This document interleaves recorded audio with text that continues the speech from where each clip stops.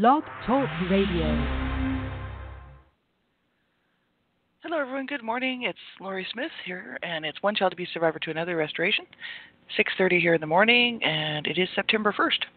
It's Thursday, the 1st of September, and uh, glad to be here. Glad to do this show. I'm just waking up, having a coffee. Haven't been awake all that long, so I'm trying to wake up here, and uh, just hope you, you hope your morning's going well. And thank you for joining me here. I appreciate it. I appreciate everybody who's tuning into my shows, and I hope you're getting something out of them. I know um, I'm finding the information helpful, so you know, hopefully it's helping you too. You know, it's just a little morning reflection, looking at you know my healing journey, and hopefully in that in doing that, you know, some of the information will be helpful for you too if you're a survivor of abuse. And so, you know, um, thanks very much for for uh, for joining me. And we'll get right into this. Um, if you're on a, a healing journey and you're not sure where you're at, you want to do a safety first check just to make sure that you're safe enough to listen to this type of stuff or anything to do with with abuse because it could trigger your own abuse situation. And if you're if you're not sure where you're at in your healing journey you know you might want to be careful because that can trigger you and then send you backward you know sort of and you might might you know don't want to be causing yourself any distress or or you know kind of going backward in your journey. So make sure you're safe enough to listen. And if you don't know how to how to sort of check that or gauge that um, there's a Survivor to Thriver manual from from uh, ACS, the Adult Survivors of Child Abuse, ACS, ASCA. That's a Morris Center program, and they have this Survivor to Thriver workbook there um, that you can download for free. And the first 60 pages or so are devoted to a chapter called Safety First. And so you do want to get that information. Make sure you're safe enough to listen because um, you know, nobody wants you to go backward in your healing journey, and so you want to make sure you're safe and then um, to know where you're at, right? So thanks everybody. We'll get right into this, and um, we're just looking at Havoca's um, victim to, to survivor to thriver. This is the last one here that they have on their website. It's Havoca H A V O C A dot org. Havoca. That's help for adult victims of child abuse, and um, they had this really cool victim to survivor to thriver thing to gauge where we're at, sort of thing and we're on the last one this morning. And this morning's is uh, the victim is uh, might be suffering from depression, and uh, the survivor is has a movement of feelings, and the thriver is experiencing aliveness. So that's pretty cool. Um, yeah, this is. Uh, I mean, you know, as far as depression goes, I mean, some of it's clinical, and some of it's not. And I mean, you know, if a person's suffering like from clinical depression, that's my parents. Well, my mom had uh, was bipolar, and they used to call it manic depression. And uh, my brother was also diagnosed with that as well. And so it runs in our family. Um, but you know, that's uh, that's a little bit different than somebody who's just depressed, you know, for and and just depressed for a period of time and can actually pull themselves out of it.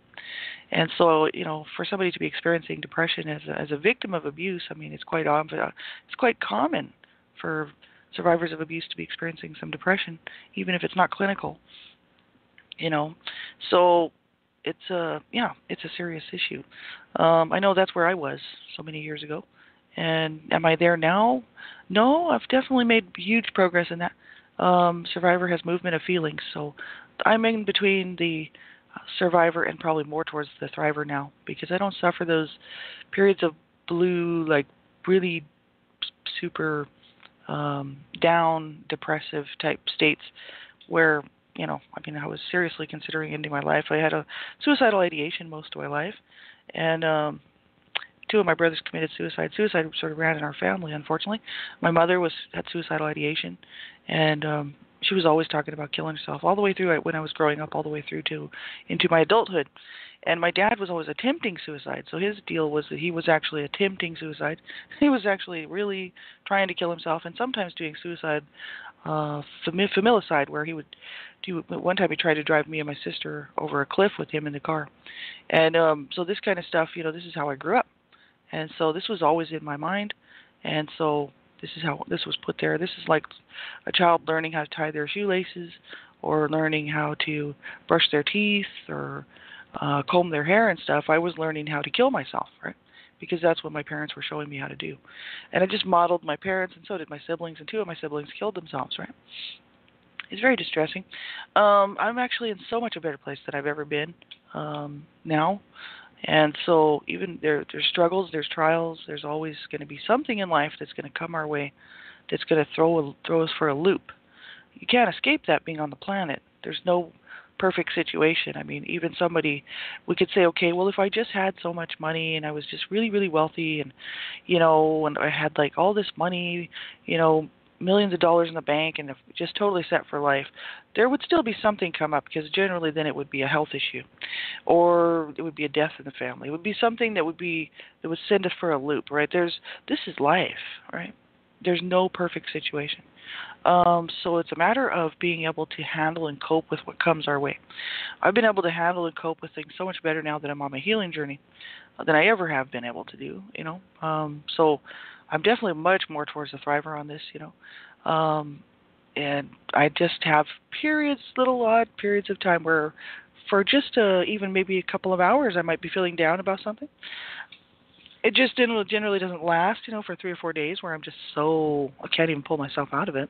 I used to get like that, and now I'm you know that doesn't happen to me at all because I've moved through a lot of the feelings. I've worked through a lot of the feelings, the anger, the rage, the the sheer sort of uh, oh just the the whole entire trauma of being abused as a child. I've worked through most of it, and I you know I'm still working on some of it, but I still most of it I have worked through, and so I feel a lot better than I've ever felt before in my lifetime. And so um, I'm definitely more towards the thriver on that. But like if you're suffering from depression and you know you can't pull yourself out you know it's a good idea to get help. I really wish that i would have got help a long time ago because I, I allowed myself to suffer in this by myself. Nobody knew i was having these difficulties you know i, I wouldn't run around telling people i'm an abuse survivor and i'm thinking about killing myself. I mean i'd go to work and laugh. People thought i was great to have around you know i love to have a good time. So i'd people would invite me to their parties and I'd go do things with them, go out with people, have a good time. I have a husband, you know, and nobody knew that I was good that I was I was sitting around, you know, for periods of time in my lifetime wanting to self-injure or, or wanting to end my life. So this is the thing. I just suffered in this alone, you know, and I really wish I would have got help a long time ago because I wasted a lot of time in a circular pity party, right? And people, and I mean, people say, well, you know, some people are really harsh about that and they say, "Yeah, you're just having a pity party." But actually, it was just a cycle that had been shown how to been shown how to live a certain way, and I didn't know how to break that cycle. And so, you know, I'm glad that I finally figured, you know, got enough sense to get some help, right? But it took me to the age of 42 to do it, and I wish that I would have done it a lot, lot sooner than you know in my 20s when I really figured out that I needed serious help. So get help, you know, don't suffer with this stuff alone, you know don't. I mean, I wish my mother would have got help. I wish my dad would have got help. I wish my two brothers would have got help. You know, the ones that killed themselves. Um, I wish the remaining family members that I have on the planet, which is very few, would get help. Um, they're still suffering, but they suffer in silence because they don't want anybody to know where they're at. You know, they don't want anybody to know the secrets of the trauma of their of their horrific life, you know. But I've spelled it out for the world, but but they can still remain hidden away because nobody knows who they are, my my siblings. But the thing is, is you know, it's really horrific, and uh, for to suffer on your own like that. So I would say make sure you get some help. You know, it's very very important. We're going to look at this uh, inner child info from Havoca this morning.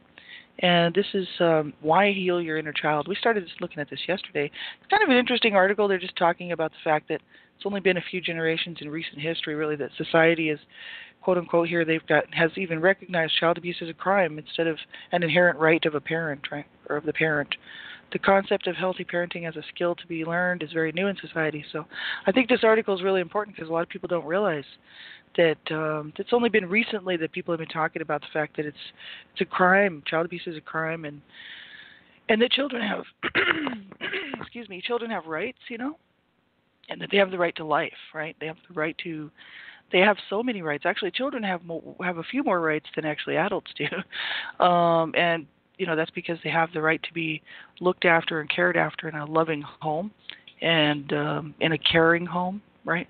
In nurturing home. That's actually one of the rights in child rights. I mean, I studied child rights, and it's like you know, it's just a few generations, really. A few. It's recent history and I was talking yesterday about the fact that you know even in the 60s, you know, they still didn't take child abuse very seriously, and you could kill your children. I mean, you could just do whatever you want. They didn't remove us out of the home.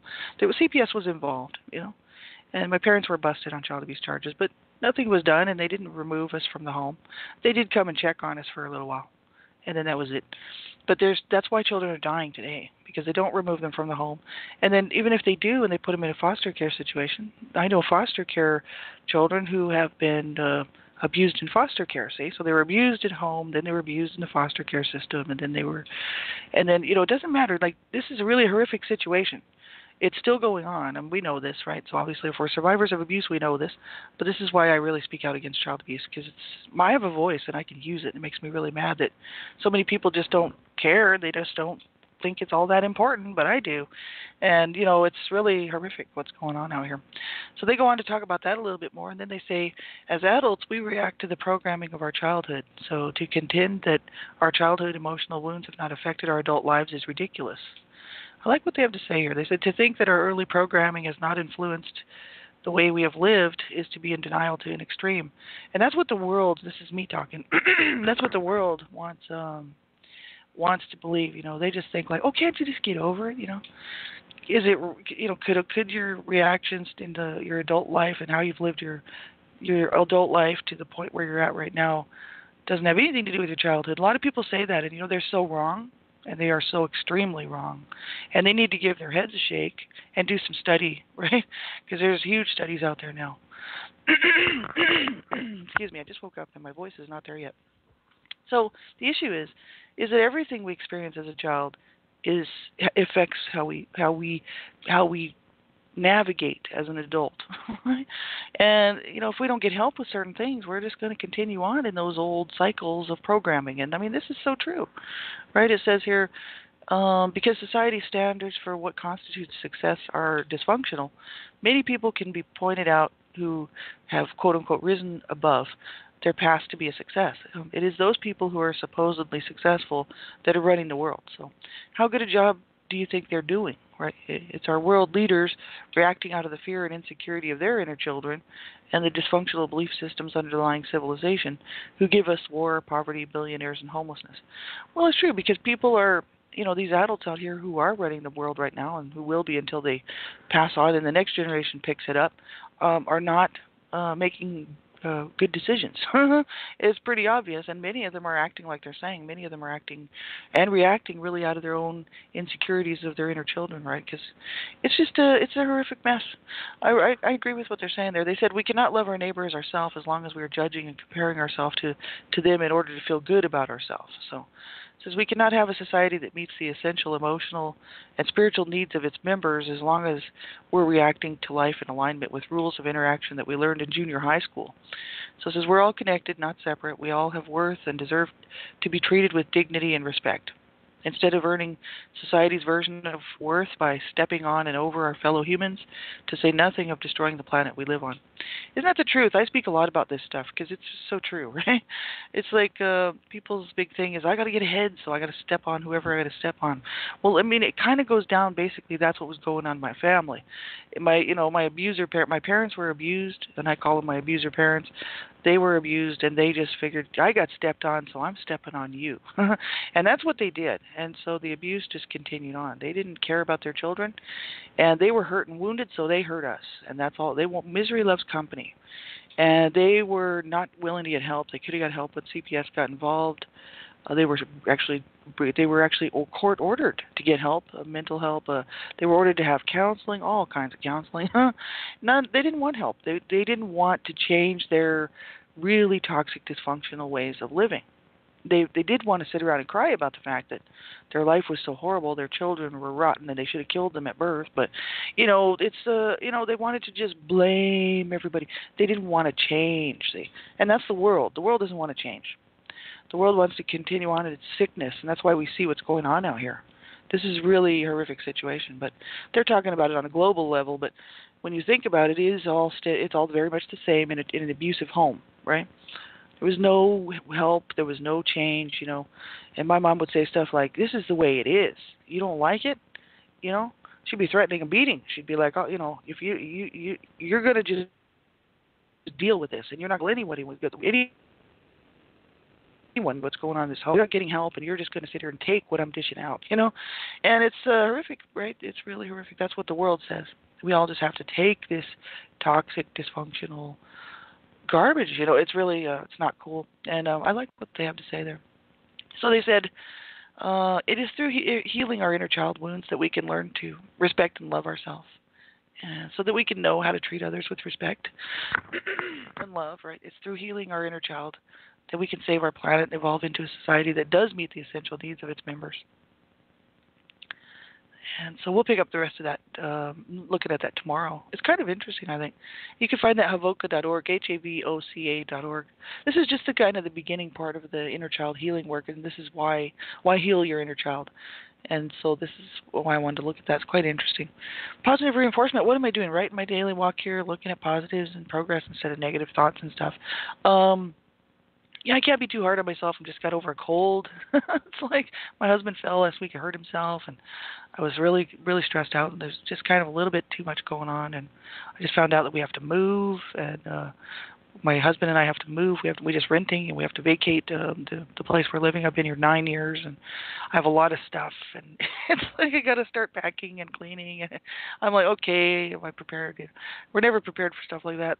So I'm just decided to take it easy and um, I got a long weekend coming up and I got off. I'm off until Tuesday, starting uh, Friday afternoon. So I got Friday afternoon, Saturday, Sunday, Monday, until Tuesday morning to relax. And I thought, I'm not packing and cleaning. No, I'm going to take it easy. I'm going to take a break for a, a me break for my and my for my husband as well because I don't get to see him much, even though we live and we're together. But he's busy. I'm busy and he's sick, so he's busy sleeping. He sleeps a lot, and I work a lot, so we don't get to spend much time together. And I thought, no, I'm going to take the weekend and spend the weekend with my husband.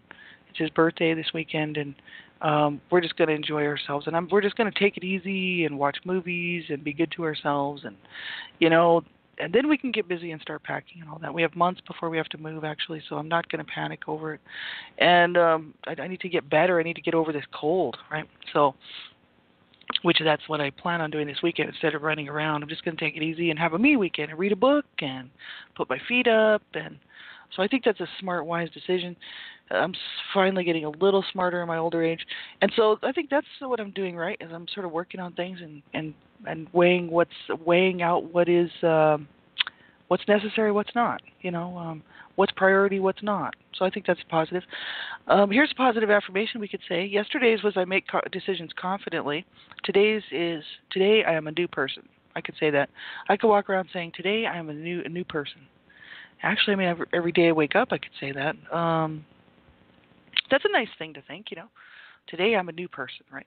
Um, I don't know. I don't uh, personally. I don't personally like that one, but person could do that, I suppose.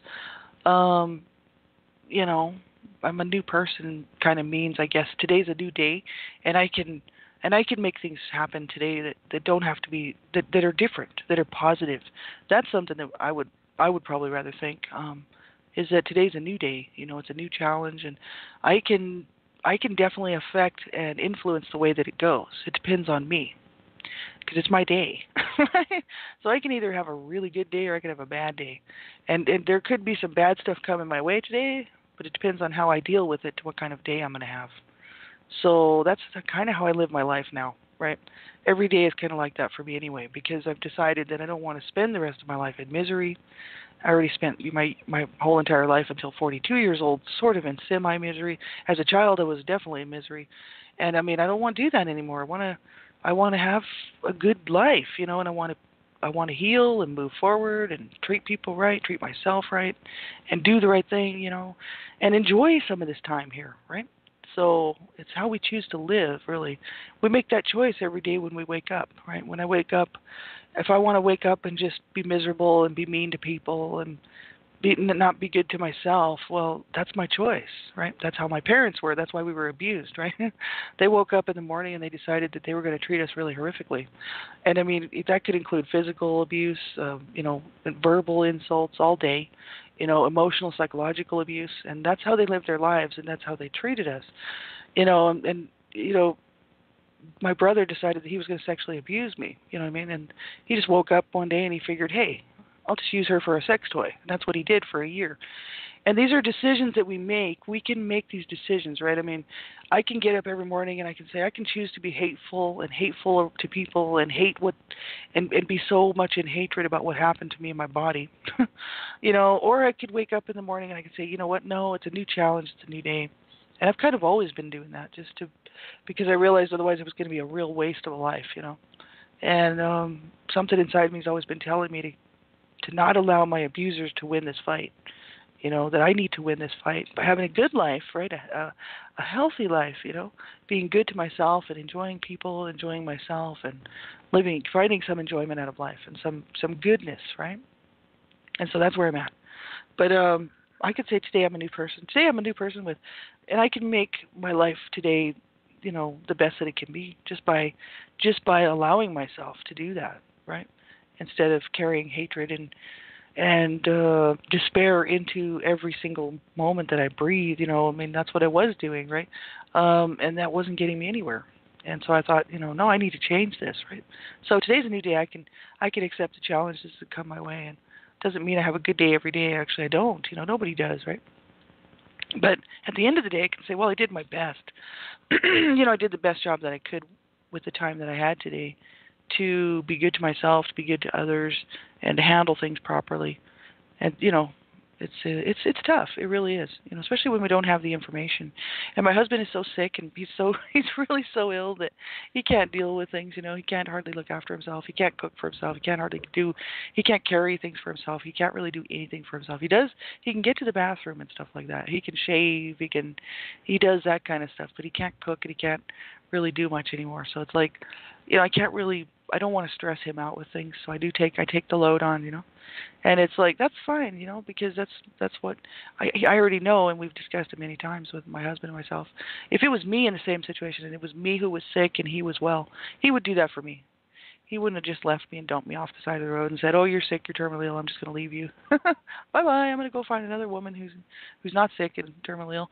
Um, that's wrong, you know. I mean, we're we're we're we're in this through the thick and the thin. I'm glad to be able to help him out and uh, you know it makes me happy to be able to do that for him. He helped me out when we first got together when he he was helping me out to get through through my abuse, a lot of my abuse. So he's he's been a very helpful, supportive person to me, and I want to be that for him, right?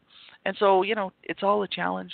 Depends on how we want to face it, how how we want to handle it right? And so it's very important to make sure we take a look at those things. Self care. What am I doing uh, physically, spiritually, emotionally to care for myself uh, and to care for ourselves? Well, physically, I'm still working on doing all that stuff, but I have had no time. Um, I haven't even had time to, to do anything really. Um, it's been an incredibly busy couple of weeks, and I can't uh, because I had caught that cold. I decided I didn't want to start working out and all that with the cold, right? And which I think was smart.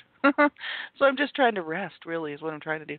So I guess that's my thing. That's what I'm doing right this week is just resting, um, trying to make sure that I'm, you know, spiritually sort of um, emboldened, you know, to to keep going and to do it as you know to handle this stuff with you know properly you know not let it get me down emotionally same thing you know just continue on um and keep going day to day keep looking for looking for that hope. You know, I do have a lot of hope. I do have hope. I do have faith actually, and um, that helps me out. Helps me get through the day. And Havoca has this really cool Survivor's Bill of Rights thing, and we're looking at the personal communication part. It says in the sphere of personal communication, they said you have the right to, and then today's is to resolve doubt without deferring to the views or wishes of anyone. So to resolve doubt without deferring to the views or wishes of anyone. Yeah, that's true. We can we don't have to you know we can resolve doubts that we might have um, without having to to just go by what somebody else has said or somebody else's view, right? We all have our own views and wishes and and you know our own ideas on things, so we can resolve our doubts uh, with that. We don't have to defer to other people's views or wishes of anyone because a lot of times people will try to they're trying to be helpful, right? We might be saying, "Oh, well, I, I don't think I'm ever going to heal, or I don't think this is ever going to happen," you know, because we're talking out loud, right? And then somebody next to us who maybe might be a really caring individual and actually probably is is for the most part is trying to be helpful, and they'll they'll say something like, "Well, if you would just get over it, you know, if you would just forgive and forget." I've had so many people do this to me, including my abusers.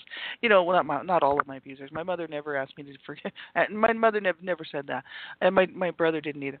But my dad, he, one time, he actually said to me, actually more than once, he said, "You just need to forgive and and forget, and move on." You know, my abuser dad, who just abused the whole entire family and me, you know, the whole time I was growing up, and he was abusing them 20 years before I even arrived on the planet.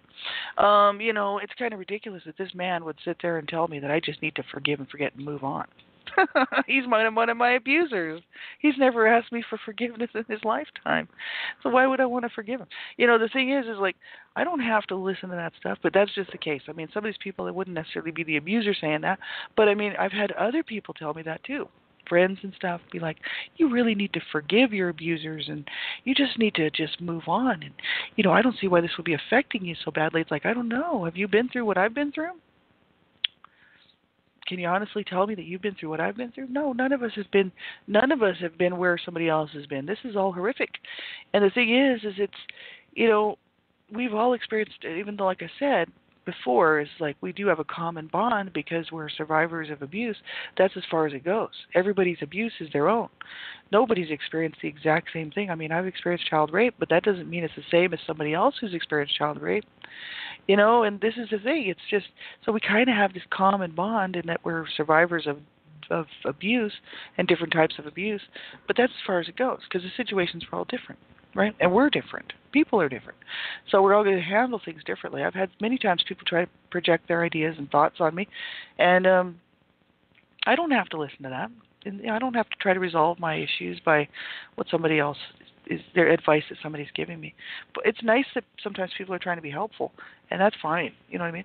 Um, but I don't have to sit there and just do and follow everything that they say. I can make my own decisions on what I need to do. I think it's very important to take control of your healing journey, and that's what I did. And take control of your life. Right? We are the only ones that can really do that. And I, I decided I wanted to be the adult, and I wanted to um, do the right things because I've never been shown how to do anything right to live as an adult properly. So I had to figure all this stuff out myself, or try to look for help elsewhere because I wasn't shown how to do this. I don't know how to do adult life, right? I don't know how to do relationships and I don't know how to live as an adult, right? So it's really difficult for me and I find I have to reach out all the time because um I can't figure this stuff out on my own. You know what I mean? A lot of it. I need to help. So I look around, I, I look for information. So I do, you know, defer a lot of times to what's going what other people's views and whatnot on stuff. But not always. I've you know, I want to be the adult in the situation, and I want to, and I want to be in charge of my life. You know what I mean? And so, you know, if it's something I can't figure out, I'll have to look around for info. But otherwise, I try to resolve this stuff myself. You know, because that's important. We need to be in charge of our life, right? Personal Bill of Rights. Uh, this is really cool. This is Charles H. Whitfield, MD, Healing the Child Within. You can find this just anywhere. I found it on Pinterest, but you can find it elsewhere too. It's everywhere. There's 38 of them, and he's got here. And we are on. Which one are we on? We're on number 23. These are really cool. I like looking at these. Um, 23 says, I have a right to stability. Uh, for instance, like roots, I have the right to stability and stable, healthy relationships of my choice. Isn't that right? Stable, healthy relationships. I have the right to stability and stable, healthy relationships of my choice. That's cool. That's what I'm working on. I'm actually quite stable now, really, um, as far as that goes. As far as me goes, except for my, I'm not all that. I'm not 100% stable. I don't know if anybody ever is really. We're all he, working on a healing journey here. Even the people that think that they're not are, because nobody's really nobody. Nobody's there yet, you know what I mean. But um, I'm working on trying to be more stable in relationships, you know, because I'm trying to find my pinpoint my uh, actions and reactions to things, and make sure that I'm not I'm not moving from a wounded inner child position, doing things, making decisions based on my woundedness from my childhood. So, um, you know, these things are really important to take a look at. So I think that's pretty good. And um, yeah, just you know, we have about a minute left here. I think we'll finish up here. Um, take care of yourself. Make sure you know if you're suffering and you're having a hard time and you don't know how you're going to cope. You know, you don't know what you're going to do. I've been there. Uh, so many of us have been there. You know, so many millions. Um, you know, you reach out to somebody. Make sure you get some help. Be very careful who you who you reach out to. Make sure they're trustworthy. And if you you know if you can't find somebody around that's trustworthy, which you know I mean half the time, more than three three quarters of the time, probably can't find somebody that's trustworthy, then call a crisis line. You know, call somebody, but make sure that you get help. Don't suffer on your own, and and you know don't allow yourself to go down. You know this is not this is not fair. It, we did not deserve to be abused. I'm sorry. I keep saying it. I don't mind saying that. See, a lot of people don't want to hear that, and a lot of people don't like to say it. We did not deserve to be abused. I can walk around saying that all day. I did not deserve that. You didn't. Nobody does. And so we don't deserve to have a horrible life because of the abuse. It wasn't our fault, and we shouldn't have to pay the price as adults for something that happened to us, you know, throughout our life, in our childhood or whatever, um, because somebody did something to us that was incredibly wrong. You know what I mean? And why should we have to suffer and then go down and and be miserable and have this miserable adult life because of that? That's not fair. That's not right. And we deserve to get help. So you make sure, like I'm saying, if you can't cope and you're listening to this, you make sure you get some help. And everybody, I hope you have a wonderful day. And we'll talk to you tomorrow. And uh, we'll just be back on tomorrow morning. And uh, I hope you have a wonderful day.